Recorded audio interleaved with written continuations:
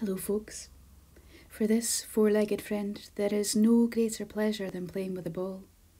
He watches it with such intensity, and then he's off like a rocket to catch it. In fact, sometimes he cheats. He starts running before you've even thrown it. Such is his enjoyment at it all. That we must make the most of each moment and enjoy every opportunity feels to be especially important at the moment Plans can so easily be blown off course.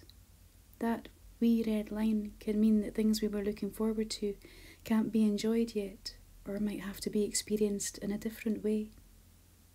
I hope if you're under the weather, you know you are thought of, and that you have someone on hand to help if needed.